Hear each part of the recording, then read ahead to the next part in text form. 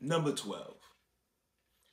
If you go to a club or any lounge, try to stay, if you can, I know the parking's crazy, especially in New York City. Try to stay in the visibility of some type of camera.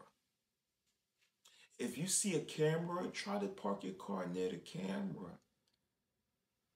You yourself try to stay in the visibility of a camera.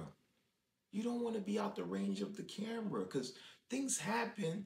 And when they go back to the police station, you know, when the case goes back and the police is trying to solve it, they're like, I'm sorry, Mrs. and Mr. You know, we can't do nothing about your son or your daughter. You know, this it's gonna be hard. There's no footage. Stay in the camera. I know you, you be on social media all day. You're taking pictures all day in the camera. So stay in the camera.